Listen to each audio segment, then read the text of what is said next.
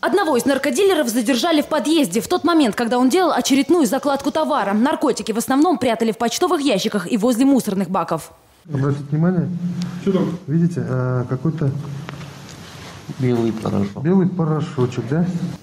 Трех фигурантов наркобанды задержали в один день. Ими оказались жители Нижнекамска, Набережных Челнов и Новошишминского района. Свой товар они распространяли на территории всей республики. В набережных Челнах у 24-летнего местного жителя оперативники обнаружили и изъяли два пакетика с наркотическим веществом. У задержанного в Нижнекамске 22-летнего фигуранта при себе оказалось более 1 грамма синтетики. Кроме того, в его квартире сотрудники полиции нашли еще 173 свертка с наркотиками, приготовленными для сбыта. Общий вес изъятого составил более 230 грамм.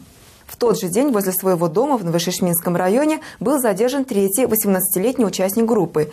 Уже потом вышли на след четвертого участника наркогруппы. Также обнаружили несколько тайников с крупной партией наркотиков. Сейчас все задержанные находятся в изоляторе временного содержания. А в полиции уже возбудили уголовное дело по статье «Незаконное производство, сбыт и пересылка наркотиков в крупном размере». Айгуль Блонская, новости НТР.